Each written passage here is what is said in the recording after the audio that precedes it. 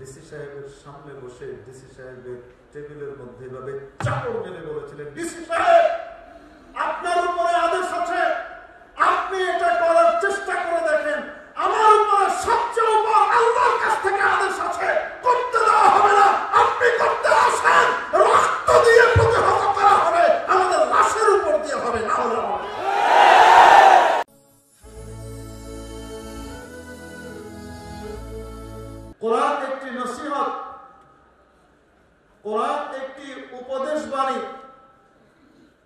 এবং এই উপদেশ পৃথিবীর কোন সৃষ্টির তরফ থেকে নয়, বরং মহাবিশ্বের স্রষ্টা।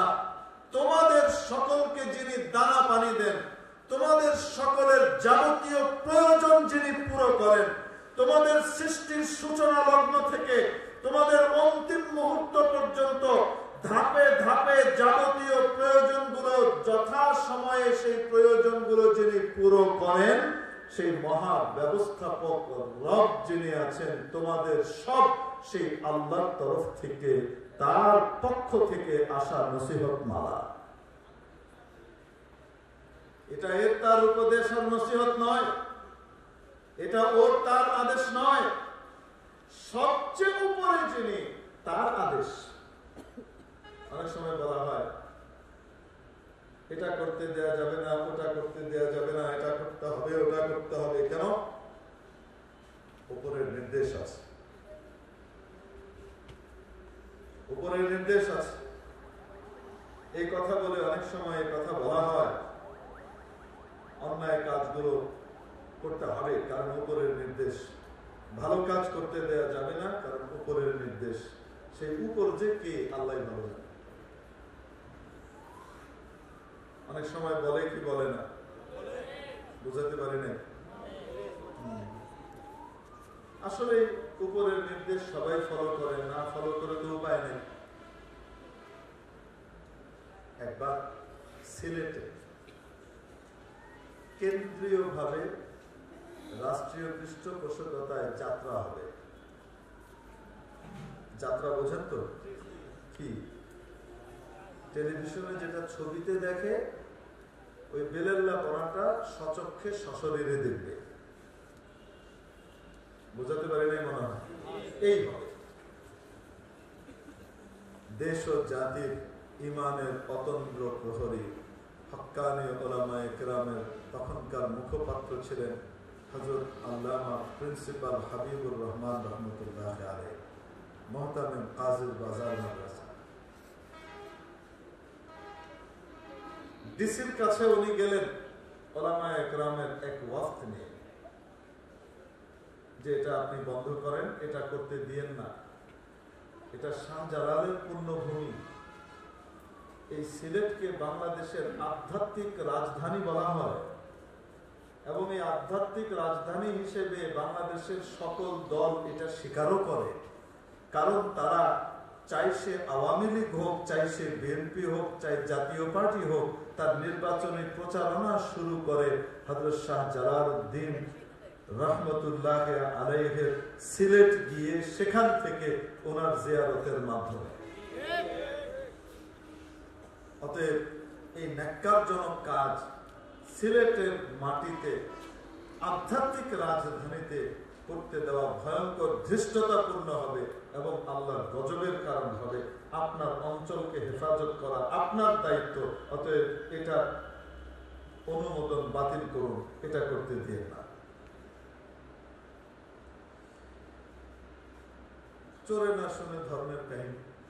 সব ডিসি তো আর এক টাইপের হয় না। কোনো কোনোটা আবু জেহেলের জারদ সন্তান হয়।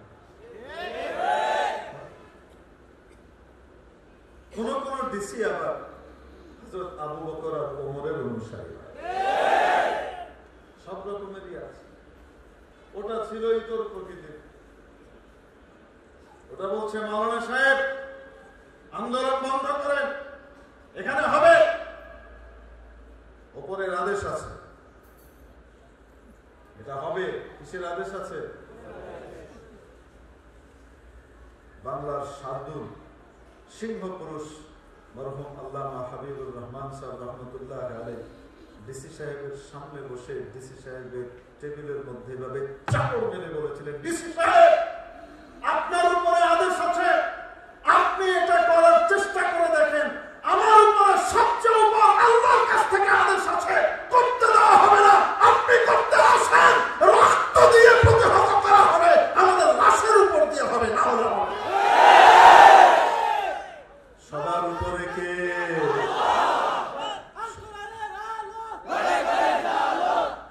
সবার উপরে কে আদেশ যদি মানতে হয় উপরেরটা যদি মানতে হয় উপরের উপরেরটা কি মানা উচিত, ঠিক কিনা? উপরের আদেশ যদি সবচেয়ে উপরের আদেশের সাথে মিলে যায়, মাথার উপরে তুলে নেব। আর উপরের আদেশ যদি সবচেয়ে উপর, যিনি রব্বুল আলমিন সমস্ত জগৎ সমূহের প্রতিপালক, সকলের দানা পানি যিনি প্রতি মুহূর্তে সরবরাহ করে থাকেন, যাবতীয় প্রয়োজনগুলো প্রয়োগ পুরো করে থাকেন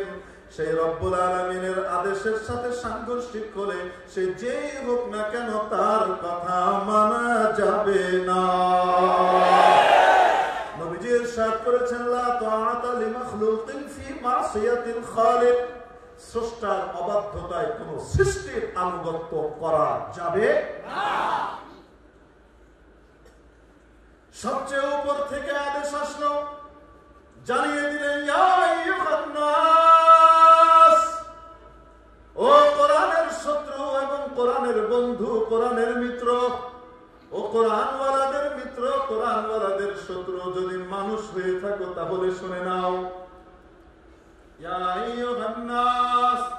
যদি মানুষের বাচ্চা হয়ে থাকো তাহলে শুনে নাও, মিত্র হওয়ার শত্রু হও, কার শত্রুতা করছ একটু বুঝে নাও।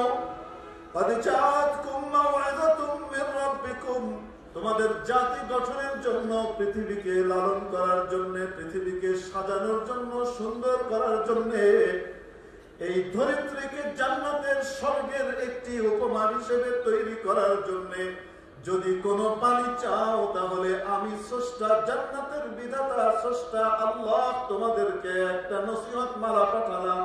সেই নসিহত মালার নাম হলো কোরআন। ইয়া আইয়ুহান قد جاءتكم موعظة من ربكم এই ওয়াজ শোনার পরেও আমি তোমাদেরকে এই কথা বলার পরেও আমার নসিহত শোনার পরেও তোমাদের মনের মধ্যে কিন্তু রাগ গোসা উঠবে কষ্ট করে একটু কোরআনের কথা মেনে নাও যদি মেনে নিতে পারো মনে রাখবে তোমার হৃদয়ও প্রশান্ত হয়ে যাবে তোমার হৃদয়ের রোগগুলাও কোরআন দূর করে দেবে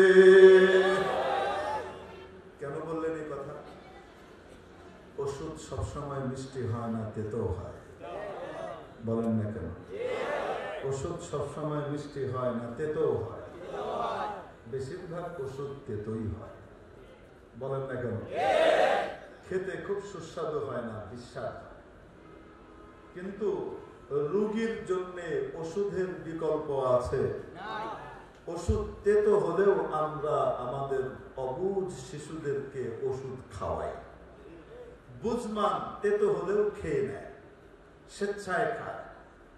কষ্ট হয় তাও খায়। দেখেন না যখন কোরআনের আলোচনা হয় যখন শিরিক বিরোধী আলোচনা হয় যখন বিদাতের বিপক্ষে আলোচনা হয় যখন পত্তলিকতা মূর্তি ভাস্কর্যের বিরুদ্ধে আলোচনা হয়, সবই তো ঠিক বলি রে ভাই কোনটা বেঠিক বলি যেটা বেঠিক বলব ওটাতে বলেন বেঠিক। সব ঠিকই তো বলতেছি শুনতে থাকেন।